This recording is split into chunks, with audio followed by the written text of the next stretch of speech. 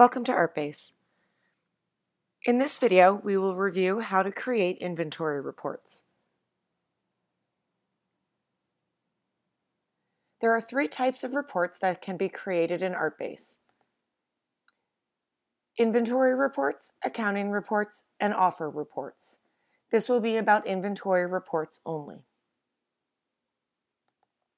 Reports are based on the found set that is created, so always start by creating your found set of works.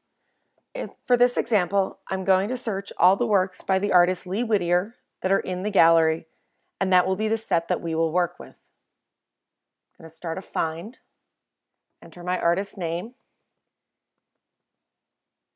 and location is gallery. This generates a set of 12 works. From the Inventory menu, select Reports, and then Inventory Reports. This opens the reporting screen. The different types of reports that you can run are here on the left side. We have some pre-written reports for you, sales report, purchase report, costs report, price history report, parts report, report with the condition, expected profits report, and payables or partner inventory report. On the white below each of those, it outlines what's included in each of those reports. For this demo, we're going to show you how to generate a general inventory report because all reports are generated in the same manner. With each report header, use the button on the left right here, to generate the actual report. The button on the right will export to Excel. We'll go through both of those. Under Inventory Report, there is the option to choose which financial details are printed on a particular report. You can choose up to four options to print.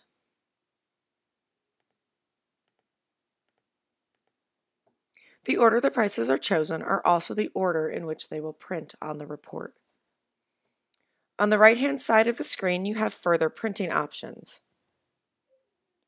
You can choose to have a report header,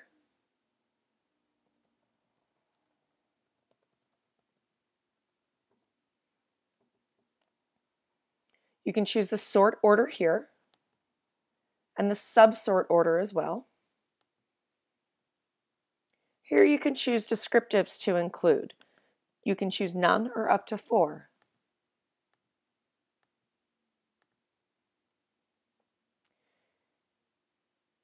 You also have the option to include the currency. You can choose to have it print in any of your four designated main currencies. Here is what the particular report we created looks like. Has all the details that we asked for, and down at the bottom, it includes uh, grand totals for everything. You can then choose to print here, save as PDF using this button here.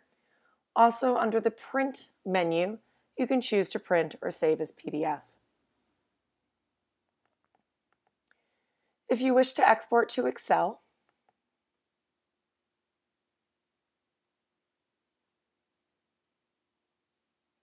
Now it's generated an Excel document with the same details that we asked for.